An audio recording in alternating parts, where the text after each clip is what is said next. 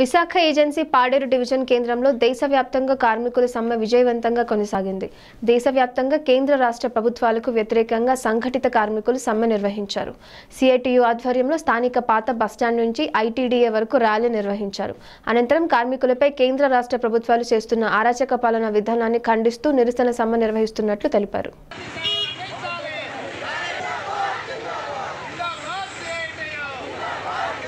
BJP ప్రభుత్వ ప్రజా వ్యతిరేక విధానాలు నశించాలి బీజేపీ ప్రభుత్వ ప్రజా ఈరోజు దేశవ్యాప్తంగా ఇరవై కోట్ల మంది కార్మికులు ఉద్యోగులు సమ్మె చేస్తున్నారు. కేంద్ర బీజేపీ ప్రభుత్వం కార్మిక ప్రజా రైతు వ్యతిరేక విధానాలకు నిరసనగా ఈరోజు పన్నెండు కార్మిక సంఘాలు ఇరవై కేంద్ర ప్రభుత్వ ఉద్యోగ సంస్థలు ఈ సమ్మెలో పాల్గొంటున్నాయి. మోడీ గారు టీ అమ్ముకున్న మోడీ గారు ఈరోజు దేశాన్ని అమ్మేస్తున్నారు ప్రభుత్వ రంగ సంస్థలను అమ్ముతున్నారు ఎల్ఐసి కానీ బ్యాంకులు ఇటువంటి రంగాలన్నింటినీ అమ్ముతున్నారు కోటి మంది ఉన్న స్కీమ్ వర్కర్లని ఈ రోజు కూడా ప్రభుత్వ ఉద్యోగులుగా గుర్తించడం లేదు. ASHA anganwadi mid day meal వంటి రంగాలు ఈరోజు ఎటువంటి పరిహారం లేకుండా రిటైర్మెంట్ అయిపోతున్నారు. అసంఘటిత రంగ కార్మికులుగా ఉన్న ముఠా కార్మికులు బిల్డింగ్ కార్మికులు ఆటో కార్మికులు అనేక ఇబ్బందులు పడుతున్నారు. ఈరోజు ఆటో కార్మికులకి జరిమానాల పేరుతో జగన్ గారు వంద రెట్లు పెంచడం జరిగింది. వీటన్నిటికీ నిరసనగా ఈరోజు దేశవ్యాప్తంగా కార్మిక వర్గం సమ్మె చేస్తుంది. రైల్వేలు నమ్ముతున్నారు. ప్రభుత్వ రంగ సంస్థలన్నింటినీ కూడా ఈరోజు కారు చౌకగా పెట్టుబడిదారులకు కట్టబెడుతుంది ఈ ప్రభుత్వం. మరోవైపు పేదలను నిరుద్యోగ నా పేరు వి భాగ్యలక్ష్మి.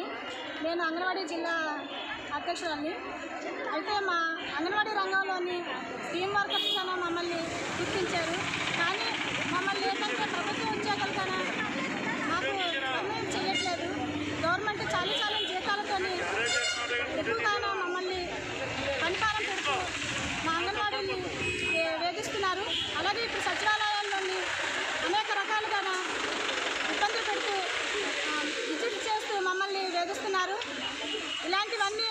ప్రభుత్వం అరికట్టాలనేసి ఈ ఇవాళ దేశవ్యాప్త సమ్మెను దేశవ్యాప్తంగా సమ్మె చేస్తున్నాము.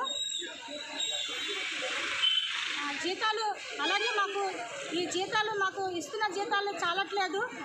అలా మాకు పద్దెనిమిది వేల జీతాలు కూడా పెట్టమని ప్రభుత్వాన్ని డిమాండ్ చేస్తున్నాము.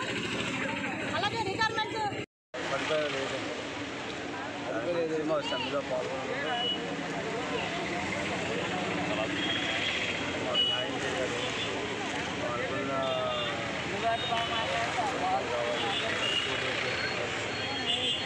ఆడుకోవాలి అలాగా